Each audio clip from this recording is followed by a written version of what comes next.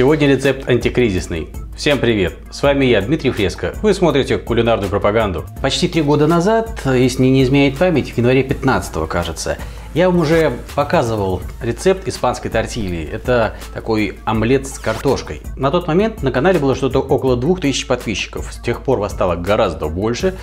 Но когда я заглядываю в аналитику канала, изучая статистику просмотров, что вам интересно, что неинтересно, то я вижу, что большинство из вас не копает глубоко и не роется в старых выпусках. Я решил повторить тот рецепт. Выпустить, так сказать, обновленную версию. Да, менее антикризисную. Но даже если вы повторите этот рецепт в своей старой версии, то вот поверьте, просто поверьте, вы влюбитесь в него без оглядки. Для меня из всей испанской кухни, несмотря на все это разнообразие осьминогов, э, других морских гадов, э, на разнообразие паэлей, всяких осада, так вот, для меня тортилья это самая вкусная еда из всей испанской кухни. Возможно, конечно, потому что продукты у нас входят привычные. Но я очень вас прошу, посмотрите, посмотрите этот рецепт и приготовьте. В ближайшее время и поделитесь потом своими впечатлениями об этом блюде под этим роликом. Это важно.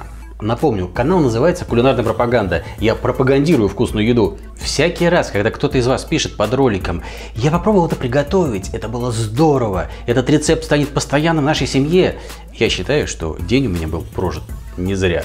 Так что присоединяйтесь к нам, к чревоугодникам.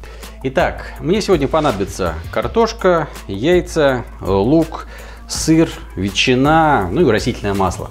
Картошку, как вы видите, я предварительно начистил и замочил, чтобы не темнело. Нарежу ее ломтиками. Важно соблюсти соотношение картошки и яиц. На 5 средних картофеля надо взять 6 яиц. В готовом блюде очень важна консистенция. Испанская тортилья очень нежная.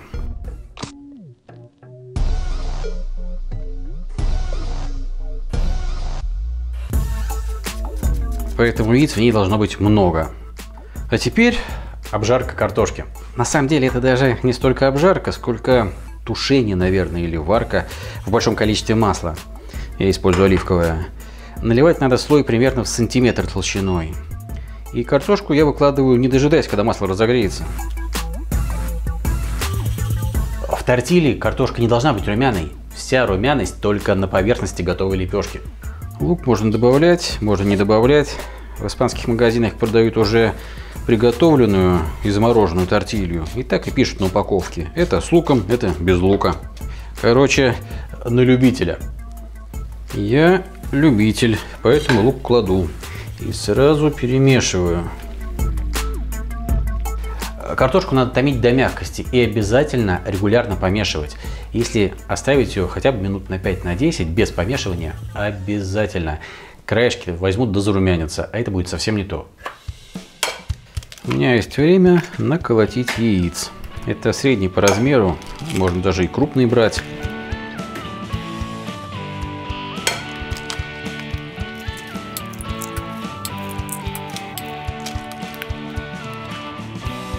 Картошка томится, и у меня перерыв минуток 20.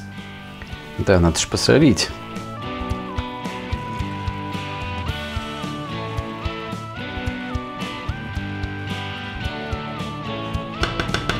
Итак, следующий этап. Картошку надо отбросить на дуршлаг, чтобы лишнее масло слить. Яичную болтушку тоже присолю немного. Вот так и перемешать. И вот теперь можно соединять вместе яйца и картошку.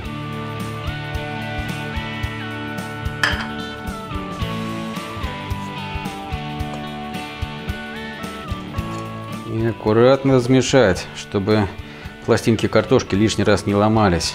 Они все-таки должны остаться более-менее целыми.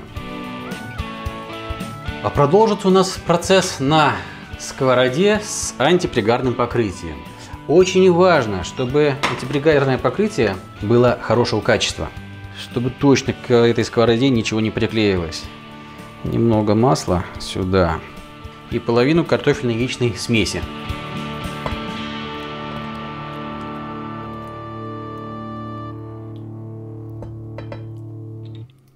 Половину, потому что сегодня показываю модернизированный рецепт. И теперь сама модернизация. Слой ветчины кладу так, чтобы до краев сковороды не доходил сантиметр примерно. И теперь сыр. Я купил моцареллу. Это, конечно, не настоящая, а такая, какую обычно в плохих забегаловках в пиццу кладут. То есть не рассольная. Ну, теперь опять ветчина. Прикрою хорошо.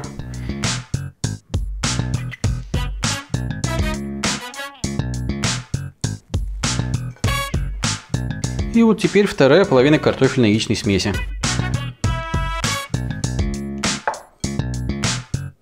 И теперь поджаривайте на среднем огне, если у вас большая сковорода. Если поменьше размером или маленькая, то на самом слабом огне.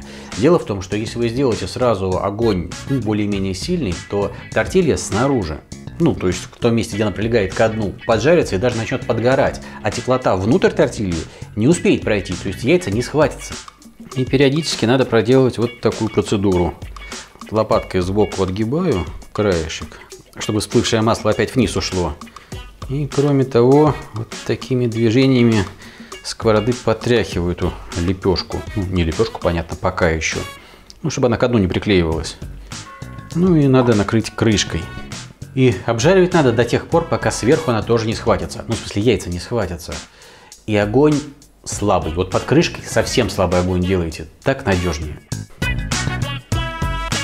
Вот смотрите, уже схватилось. И вот теперь очень ответственный момент. Надо ее перевернуть, как блины переворачивают. При этом желательно не уронить, не обжечься, не заляпать все кругом маслом. Все получилось. Наверное, потому что я сегодня был хорошим мальчиком. И краешки надо заправить, подровнять, чтобы красивая была, чтобы ровная, аккуратная. На второй стороне все будет гораздо быстрее, она уже прогрелась внутри, так что подрумянится э, верхушка, теперь уже донышко, и все, можно за стол.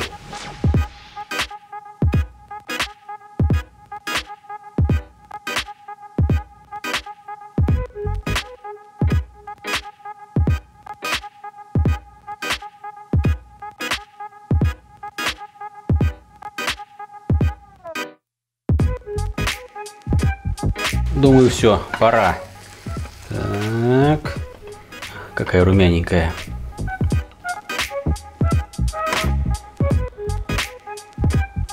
Подают ее как теплой, так и холодной. Я люблю трескать ее, конечно, в теплом виде. Но вот такую модернизированную сырной начинкой, конечно же, надо подавать горячей. Пока сыр тянется. А -а -а.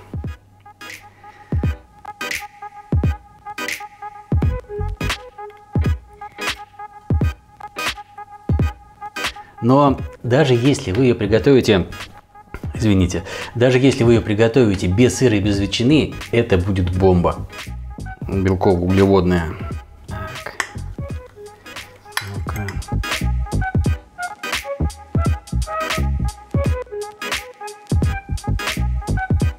Это привычная мне, обожаемая мной испанская тортилья, только еще и с сыром, и с ветчинкой. Прям класс. Просто класс как ее распатронил неприлично. Ее испанцы нарезают такими кусочками, кладут на хлеб. Получаются такие бакадитосы, бутербродики. Ее подают на завтрак в различных кафешках. Ее и на обед едят. Она очень нежная по консистенции за счет омлета. Она нажористая и дает хороший вкус вот этой вот жареной томленой картошки. Лук придает сочности. Прям класс. Чую сыр. Вы извините, что я здесь прям жру непрерывно. И да, ведь не обязательно готовить именно с такой начинкой. Можно фантазировать, добавить зелень какую-нибудь на выбор. Или, например, кусочки слабосоленой семги. Тоже, наверное, будет неплохо. Короче, творите на кухне. Спасибо вам за компанию, спасибо за активность на канале, за лайки, дизлайки, за репосты. Отдельное спасибо. Всем пока и приятного аппетита!